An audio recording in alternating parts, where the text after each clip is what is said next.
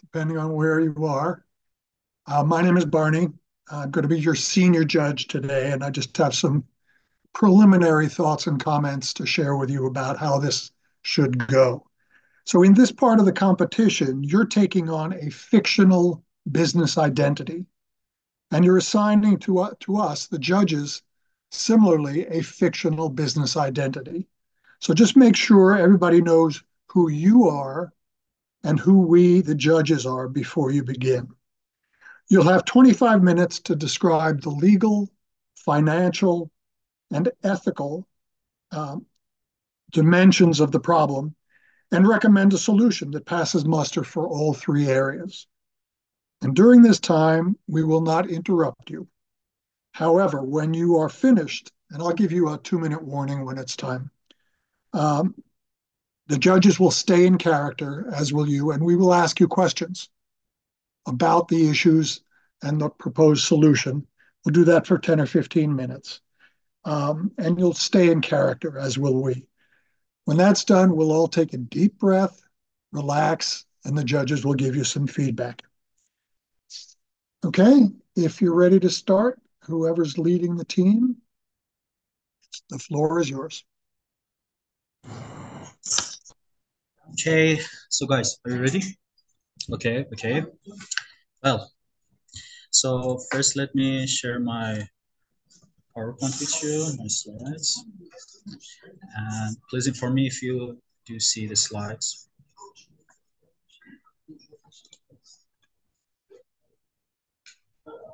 Yes, they're showing up fine. Okay, so let's start. In the name of God. Hello, everybody. This is the Veins of Life Consulting Company, and we are here to discuss the challenges of red metal for green extraction methods. Uh, you are the board of directors uh, for a copper complex in the city of Shahr Babak in Iran. We are a consulting company that you have came to us to discuss the challenges that you are currently facing. Uh, we are a team of four uh, I am Ali Reza Samani, the business consultant of the group. My other colleagues include Ali Wafai, the technical consultant, Muhammad Ali Azizi, the financial consultant, and Zahra Jiriai, the ethics consultant. Let's uh, discuss your company at first. It is a copper complex consisting of uh, several mining units and a copper smelting factory.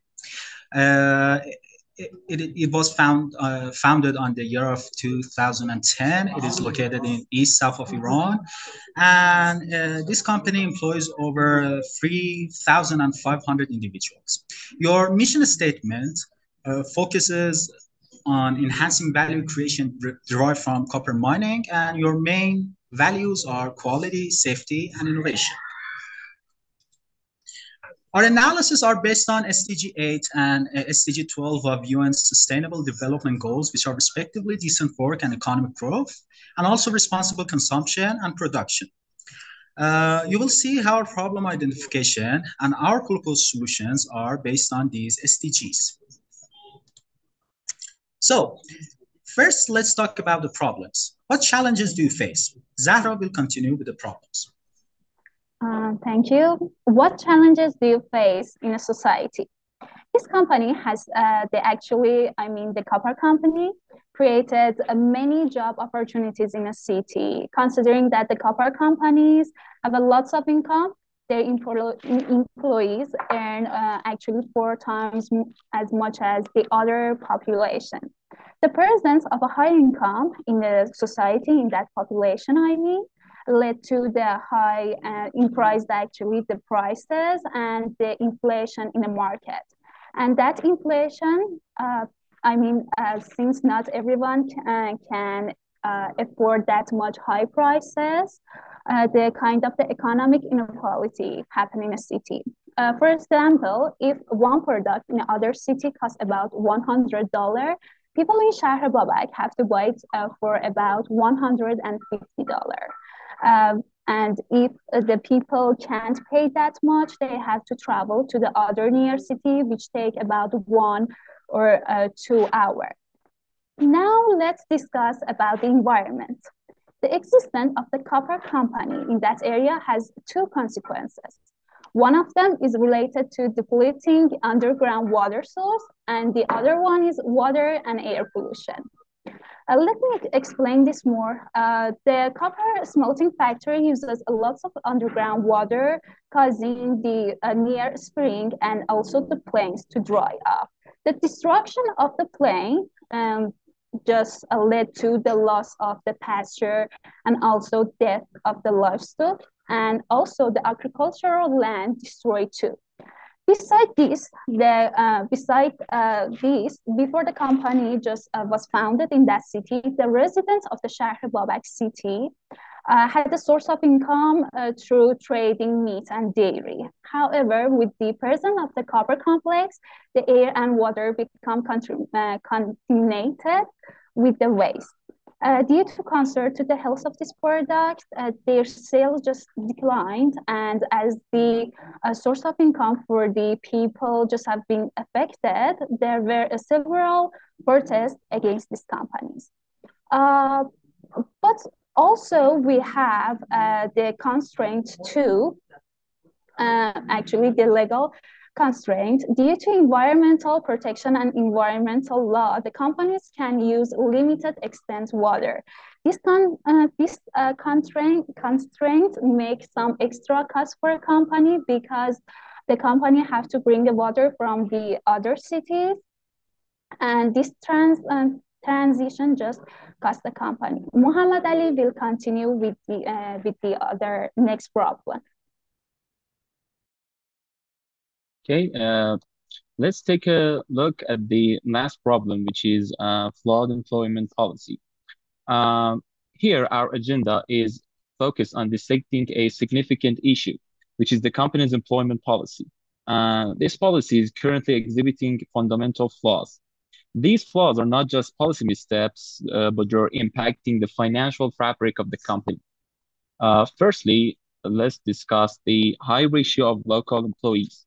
The company's policy was designed to somehow boost the local employment in order to enhance the economy of the city and somehow fulfill the governmental labor mandates.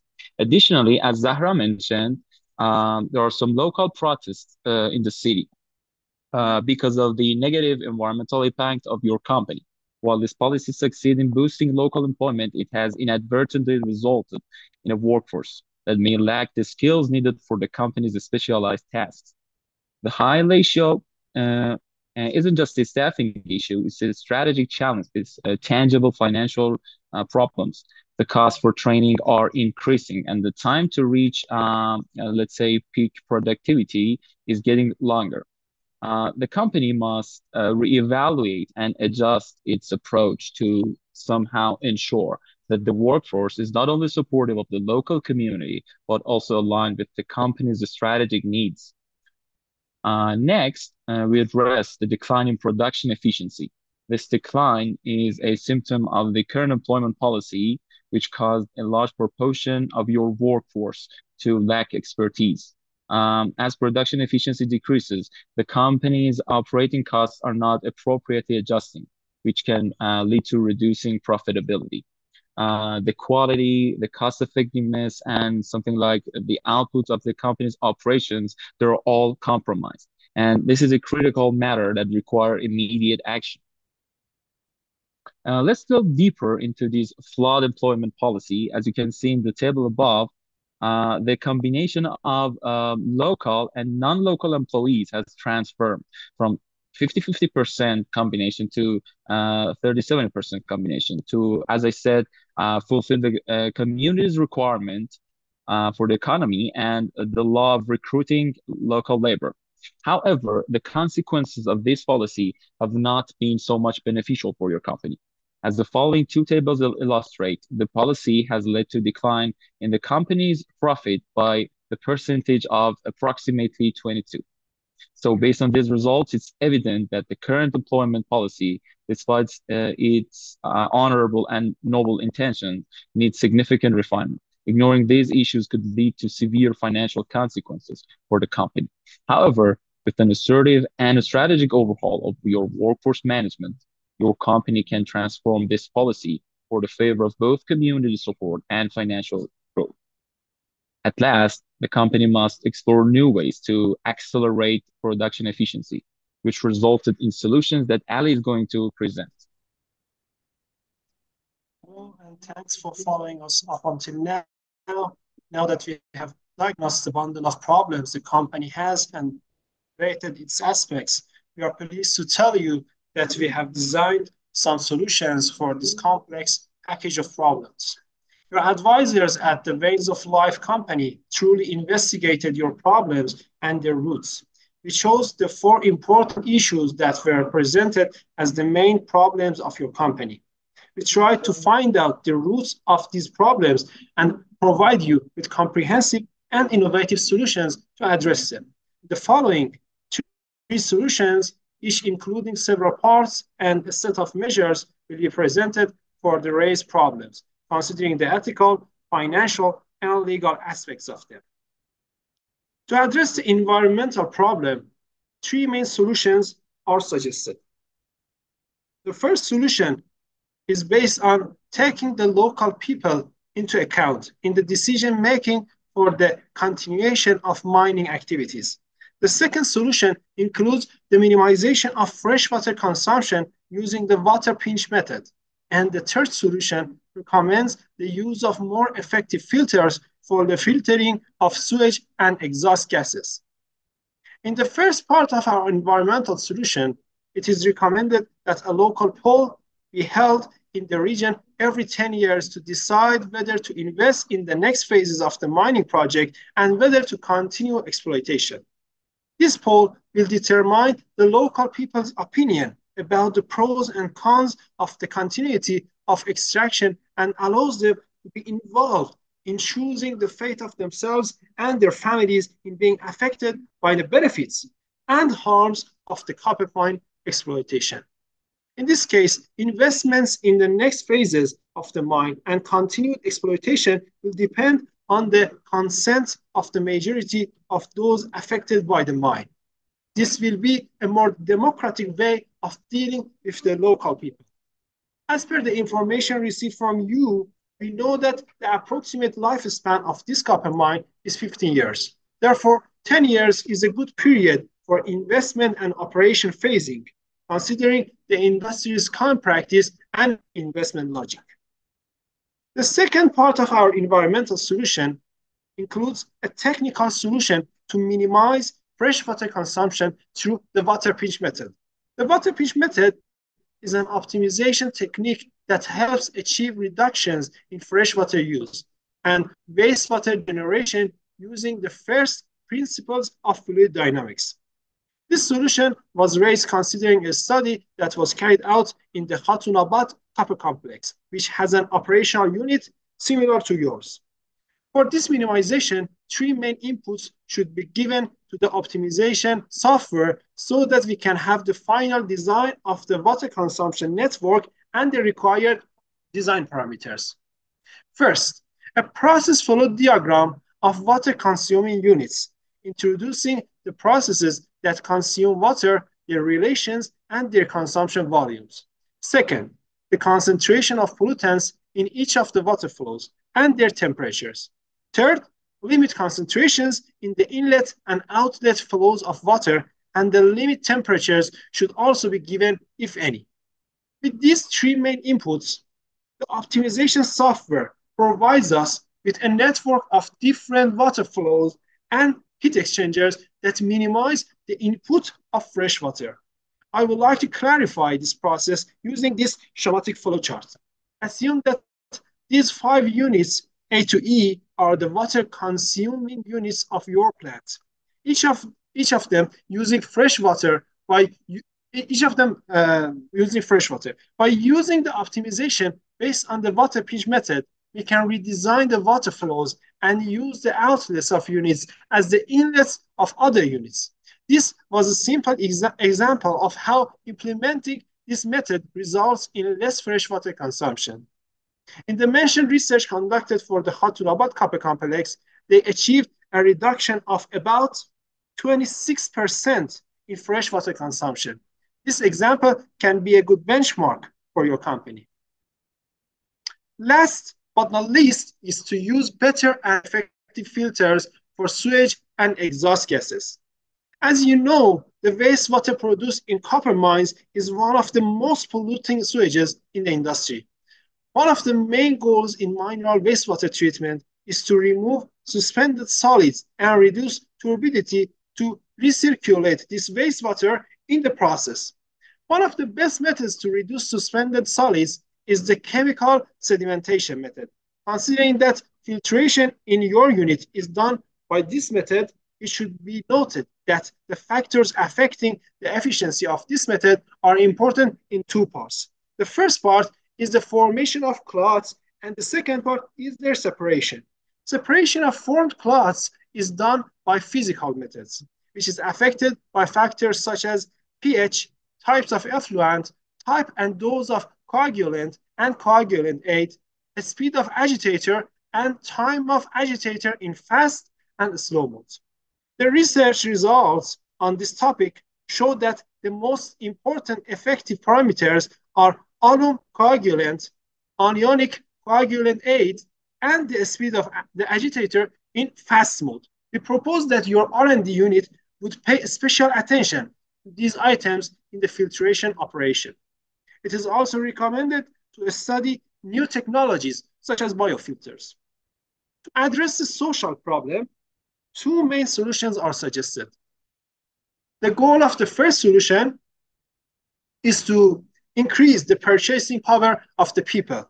And the second solution includes investments in the regional supply chain of the company, which will lead to an increase in the supply of products at the regional level and as a result, a decrease in their prices. In the first solution, the goal is to develop some companies and production units in the copper value chain and the supply chain of the company in the region so that a larger percentage of the population of the region can make a living from the benefits of the company and the new companies. Of course, developing the value chain and the local supply chain can be beneficial to the company due to the reduction of logistics and transportation costs. It should be noted that our problem was the inflation caused by the company's presence in the region and the imbalance of people's purchasing power with the rising prices. In the copper value chain, it is recommended to proceed downstream with a vertical integration strategy through the establishment of intermediate and final product manufacturing factories in the region. All of these products can be produced in the region. We also propose the establishment of companies under the current under the current mother company to develop this downstream chain. Many local people will be able to work in these companies or factories and benefit from high corporate incomes. In the supply chain of this company, many goods and services are purchased, many of which can be produced by local people with competitive prices and quality, including bread, as you see in this picture, food, dairy products, clothing, office supplies, and even specialized equipment of operational units. Many of these products have the potential to be produced via entrepreneurship, the establishment of companies and workshops where native people can work and make a living. On the other hand, it is worth mentioning that the company's investment in its supply chain in the region will not only increase the purchasing power of the local people, but also will support the supply side of these goods. As can be understood from this supply and demand diagram, this increase in supply will cause the prices to decrease due to this added supply. With, with um, I mean, with these two solutions, the purchasing power of the public will increase due to the creation of high salary jobs in the region, and the prices will decrease with the added supply of goods. The pressure of inflation on the shoulders of the local people will be reduced by implementing this solution. And Ali Reza will continue with solution. our others. Yes, I will do. Uh, Muhammad Ali, would you give me the timer, please? Okay, thank you. So, uh, our previous solution uh, our previous solution has given rise to two distinct needs. Firstly, we require individuals with an entrepreneurial mindset who can establish the new businesses we discussed. Secondly, these new businesses need workforce. So these two needs lead us to our last solution. We know that you have a legal constraint that mandates 50% of your uh, employees to be local, but you have voluntarily chosen to recruit 70% of your staff from local people. You have done this to make uh, the local uh, to make trust in the local community. Muhammad Ali has shown you how this approach has negatively affected your cost. This suggests that you go back to your previous 50-50 approach, but you cannot do this so recklessly. Because if you do so uh, and you fire the local people, all your efforts, all your previous efforts will be in vain. So first, let's analyze your staff. Among your staff, there are 30% who are non-local experts. You obviously have to keep them because you need these people to run your company. For the re remaining 70%, we suggest that at first, you have to select uh, 10% with the strongest entrepreneurial uh, esprit and direct them into your incubation program. We will talk about the incubation program in the next slide. Second, you have to retain 50% of them as your top performing employees, uh, ensuring compliance with government working regulations. And at last, we suggest that you move the remaining 10% of employees into the new businesses that you have created. The businesses created by developing copper value chain or local supply chain management that we have talked about. So let's talk about the uh, incubation program idea. We suggest that you establish your internal incubator program uh, actually, you know, business incubators are specialized programs uh, designed to support new businesses and startups as they overcome challenges and grow. This shared environment helps collaboration and networking among entrepreneurs. It's not a complicated matter for you to design your internal, internal incubator. You have a large facility. Uh, just uh, you have just to allocate some space for co-working environments so people can work on their ideas. Uh, besides that, uh, they probably need you to help them with new ideas and market insights of the city. Also, you can provide them with educational programs, workshops, and mentorship sessions. And at last, if you have witnessed some promising startups among them, you have the opportunity to invest in them and gain 5 to 7% of their equity in exchange for the investment that you make in them.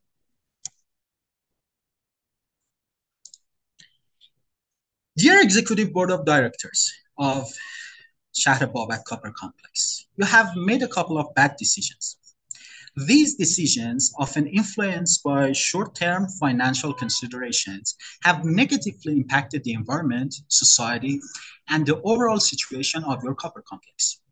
In this presentation, we try to demonstrate how strategic actions can lead to positive, uh, positive outcomes for all stakeholders by embracing new technologies, revising your employment plans, and most importantly, by returning to people and using their capacity, you can transform the current situation into one where everyone benefits. This was a presentation by Veins of Life Consulting Company. Thank you for trusting us.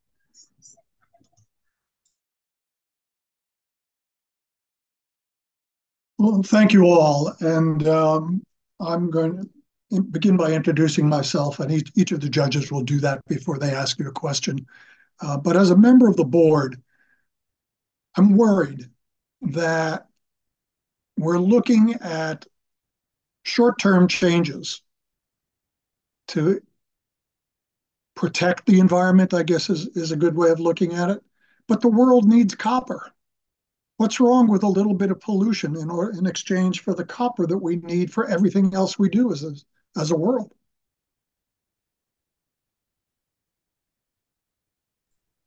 So uh, do we have to answer you right now? Or are there other questions as well? No, the, the other judges will have questions as well. Okay, okay. Well, well, uh, I will say my opinion. Uh, if you have anything to add, please do. But uh, you know, uh, when you say that uh, the world needs copper, uh, and you say that well, what about some little pollution? Actually, you have to consider that it's not a little pollution. Um, the pollution that these copper complex have uh, created in the last decade have changed the lives of uh, about uh, 80,000 people of Shahr Babak. And uh, these lives have changed a lot, and there are a lot of problems. Uh, a lot of uh, social traditions have been uh, have been destroyed. Uh, a lot of uh, people have lost their jobs, lost their traditional jobs that they were living with those for uh, thousands of years because Shahr Babak is a kind of uh, uh, an old city in Iran. And when you're saying a little pollution, it comes to my mind. Well, at first, it's not a little pollution. And when you say that uh, there's copper needed for the world, well, uh, the way that you are creating this copper leaves us no world to use that copper. So absolutely there is something wrong and we have to look at some long-term approaches to ensure the sustainable use of copper and this sustainable development. If I may add, if I may add to Ali Reza's answer to your question, uh, we should also consider the environmental penalties and fines that the government will uh, impose uh, to your company. Uh, when you came to us, you talked the legal aims of the environmental institution, the government, and the fines and the penalties that actually their amounts were high and uh, it's all, it, these fines also have financial impacts on your uh, income and on your profits. Of course, uh, this should also be considered. Uh, can I add something else to it? Actually, uh, even if the pollution be legal, it has a long-term effect on a people's health.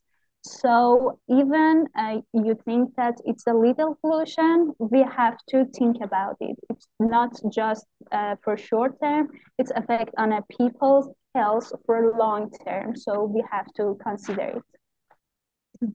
Sagar, do you have a question? Yes, uh, I had a follow-up question on that. So, you know, beyond simply creating new businesses, uh, what models are proposed to ensure the equitable distribution of benefits from new economic activities?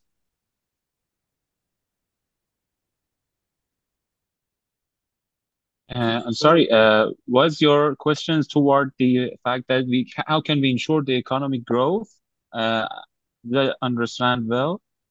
Yeah, you spoke about uh, you know new economic activities in this region. You mentioned that 50% of the employees will retain their job, 10% of the employees will be free, they'll get jobs in your division. So what strategies are proposed to ensure the equitable distribution of benefits from the new economic activities? If I may uh, answer, uh, let's take a look at the strategy literature. Um, when I say when we proposed the investment in copper value chain and the local supply chain, um, you should consider the synergy that these new companies will have uh, with your current company. I mean, uh, because you will be the supplier of the uh, copper value chain companies, and uh, this synergy will uh, um, will almost help or even assure the profitability of those companies. Also, on the other hand, uh, for the local supply chain and the companies that were uh, would be developed uh, in on in that supply chain, we should be uh, very careful that uh, our investments would be uh, feasible and the reducing the reducing transportation costs uh, maybe would uh, I mean maybe would uh, would uh, be uh, be beneficial for those uh, companies that are developed in your local local supply chain. I mean, the transportation costs will be reduced, and this may help in being feasible Uh, of the new companies. Mark Katchen. So, and I have a sort of a technical question. In in the solution that you had, you were developing a using a flocculant to generate a sediment. Did you consider the impact? Is it sediment?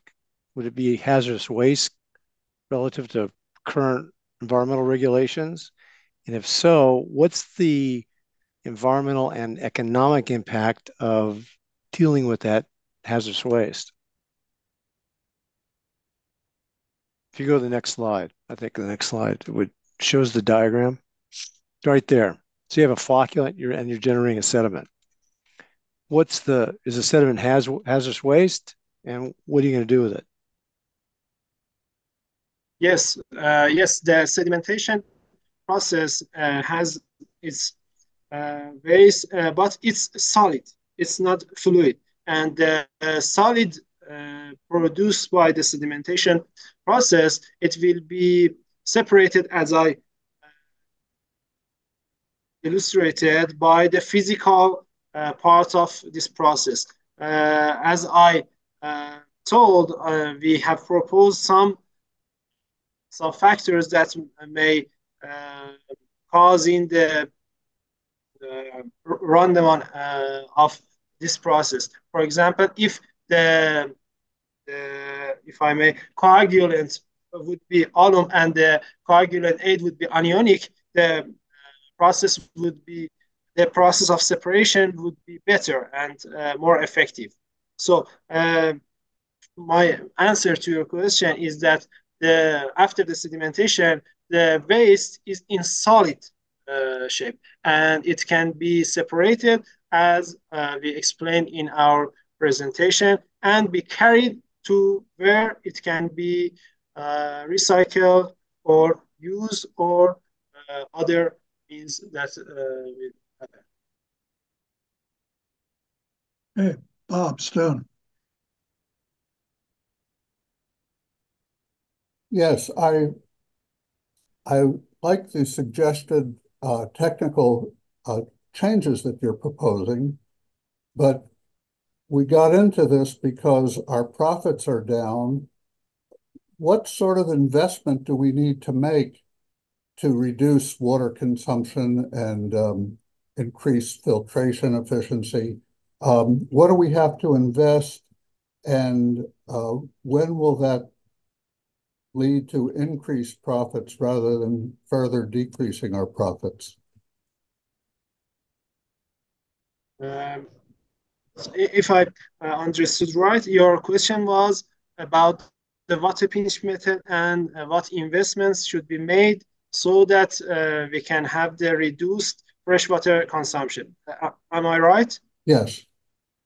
Um, first of all, the, this method uh, needs a, a, really effective R&D so that the design of the new uh, water flows and uh, pipings would be uh, would be developed, and then we should invest in uh, buying the heat exchangers, for example, from the companies that produce them, like Siemens or others, and um, uh, designing the detailed design of pipelines uh, for the for this uh, for this diagram for the new diagram of water flows.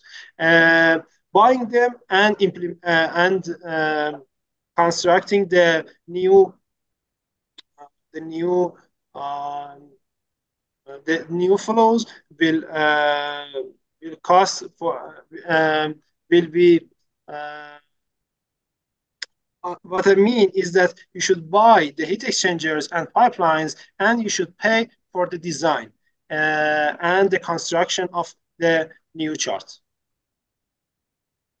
I had a question about this survey survey that you want to do of the employees if there's only a 15 year supply of copper ore left in the mine, what good is it going to do to survey the employees every 10 years?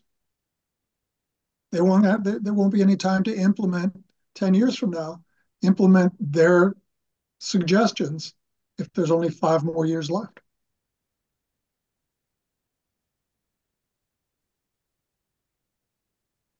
I'm sorry. Could you elaborate further your question? I didn't. Sure, uh, sure. I thought I thought I saw a slide or somebody said that you want to survey the employees every 10 years. And in addition to that, there's only 15 years worth of copper left in the mine. So what's the point of a 10 year survey? Yes. Um, what what we meant was that uh, this 15 years of copper uh, mine lifespan uh, should be separated to five uh, of uh, five phases of 10 years, and each 10 year uh, needs its own investments. For the first 10 years, you invest and you exploit the mine. And in the end of uh, the 10th year, you will ask the local people, those who have been, who have been affected by the mine, the benefits, of course, for the jobs and the uh, harms for the pollutants, uh, that should, should we continue to invest in this mine or not? If they, uh, they see that the pollutants and the, uh, their health are more important, uh, they say that we do not want to continue exploitation and the next phases of investments would not be made in the mine. Uh, so the 10 year uh, was for uh, was con considered for, uh, as a as an outcome of investment and operational logic because uh, if you, the lifespan of the mine is 15 years, it's good to separate it to five parts. Uh, could I answer your question? Yes, and we have uh, time for a couple more questions. Sagar? Yeah, I do have a Thank you. follow-up question. I'm sorry, go ahead. No, you're up. No, I just thanked uh, Professor uh, Rosenberg. Rosenberg. Okay. Yeah, I, I do have a, a two-part question. You know, first part is that how can the skills and knowledge of copper mining and processing workers be leveraged to support other industries suited to the region? And the second part to that is, have you consulted local communities throughout this process? How are you making sure their voices are integrated into the decision-making regarding the future development? Okay, to answer uh, your first question, uh, as I have uh, suggested, well, you have to implement an incubation program. We know that uh, the local workers that were previously work on the copper, uh, working in the copper complex, uh, hadn't uh, ha actually they didn't have the needed expertise to uh, they needed expertise in the mining operation. so uh, if we want to if we want to move them into new businesses we have to make sure that these new businesses uh, we have to make sure that they have the needed expertise in these new businesses. Actually, the, uh, the one of the most important uh, things that you have to consider is that other businesses are not that kind of uh, hard and technical matters like copper mining, they are different, uh, such as the uh, supply chain management examples that we have talked about. It's like uh, the dairy, uh, dairy and meat, and uh, mm-hmm. uh, for example, food, or for example, uh, Yes, cloth. Uh, so uh, these are not that kind of uh, that kind uh, kind of uh, complex technical matters, but but uh, you have to make sure in your incubation program that you provide the needed mentorship to these new workers and to these new entrepreneurs who are going to enter into their new businesses. Actually, you have to educate them, and this education is not as hard as educating them to be uh, mining employees and to be engineers. Okay, I'm sorry. Uh, I'm sorry. I'm sorry. He, he had a second question. I forgot what his second question was. No, but I have to cut you off because we're out of time. Okay, So okay, we'll- I'm sorry. we'll- So we'll stop here. Everybody take a deep breath. You're no longer from that company. We are no longer the board of directors. Just a bunch of folks who are uh, really enjoying your presentation. Um, Let me begin just by saying that I really need to go learn about Shahr Babak. Sounds like a wonderful historical, cultural center uh, in a part of Iran that I, I just don't know about. Um, so that was very educational for me. Um, I thought that you picked a very difficult topic. You presented the complexity of the topic, and uh, congratulations. Good job. Anybody Thank else you have very much. feedback? Uh, Thank you, Mr. Rosenberg. Feedback for the panel? I enjoyed I enjoyed the presentation. I found the um, uh, the issue very interesting and um, in a way almost universal. Um, how do we increase profits, decrease environmental harm, and uh, uh, provide for the uh, people in our organization? Um, I uh, uh, applaud you for taking this on and for uh, presenting it with with such clarity. Um, one problem I had in in listening is I was never sure whether I should be um, listening to the speaker or or looking at the slide. And I think as you prepare more presentations, um, think about connecting the the speech, the talk to the picture. So, for example, on this slide, you, you might say, um, on the incubation program, there's th three parts I want to talk about the working space, the mentorship, and the investment. And uh, as far as the working space, we want to provide a physical location and, and so on, so that you kind of lead the listener through the through the slides, and you don't make the you don't allow the listener to kind of bounce back and forth between what his ears are telling him and what his eyes are telling him. Um, I thought the presentation was uh, uh, very, very interesting, and I uh, applaud you for uh, for taking it on and for your presentation. Mark? Yeah, I thought that, you know, this is a complex area. I, having been in the mining business. Sorry. Yep, the Sorry, challenge, excuse me, the, sorry, the challenge is pretty pretty extensive, especially the cost of compliance. You know, these types of things where you're trying to comply with these environmental regulations can really impact margins considerably. So looking at that and developing it and looking at the technology, as I was pointing out before, is really very, very critical to understand because the cost, sometimes the cost of compliance can completely wipe out your whatever profit you might be making and and your ability to just gain um, authorization to operate. So it's, I mean, you, you, talked about that. And I think that's it's an important consideration, and sometimes delving into that in considerable depth is sort of the make or break in in many cases. So I appreciate your your focus in that area. Mark, um, no, just that Mark. Has have all the judges had a chance to provide some feedback? I can share my feedback. Good. So, uh, in addition to the feedback that's already been provided, I think you articulated the problem very clearly. Uh, you know, the economic benefits and the social costs associated with the copper complex. Uh, the proposal aims high, and uh, you know, for a truly sustainable hub, uh, this this seems to be a compelling goal for the region. And uh, as Barney mentioned, uh, since I'm unaware about the local economic region in that area, I need to dive deeper and do some more research. Uh, could I have aligned more with the Sustainable Development Goal alignment that you mentioned, SDG 8 and SDG 12?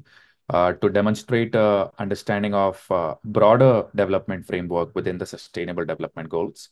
And I like the multifaceted approach, you know, uh, for the economic diversification, the value chain enhancement for employment in the region. Uh, so you gave us the systematic view of the problem. Uh, there are some areas for improvement. Uh, you could add some data to strengthen the problem.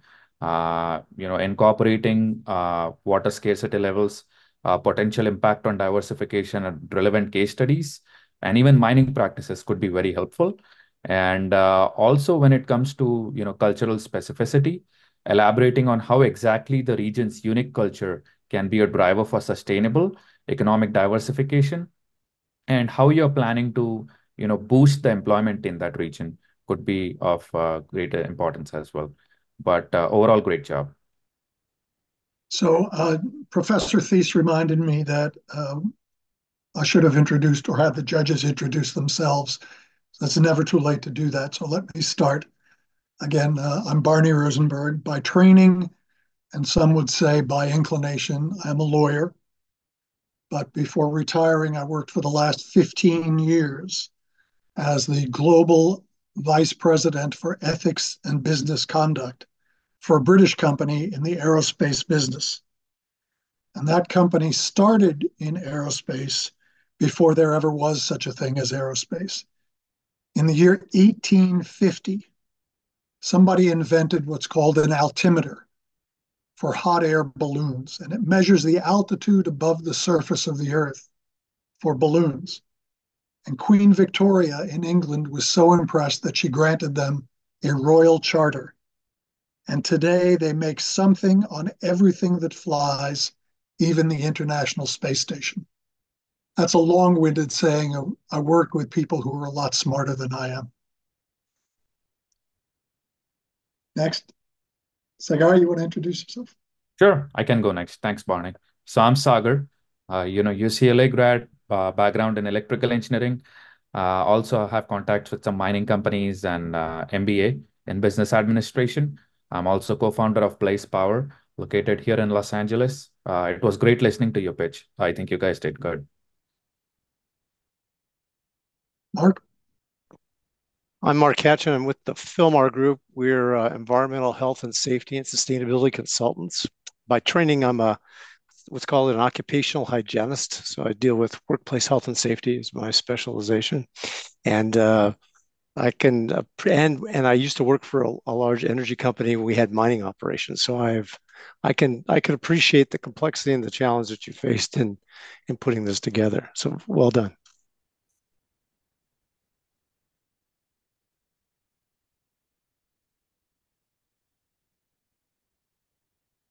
Bob, did you go? Yeah, uh, I'm Bob Stone. Uh, I'm a uh, retired career civil servant. I spent uh, 30 years uh, in the um, working in the Pentagon and in the, in the White House. Um, I'm a graduate engineer from MIT, and I've taught business ethics at the University of Redlands for about eight years. Terrific. So presenters, do you have any questions for us or anything you'd like to hear more about?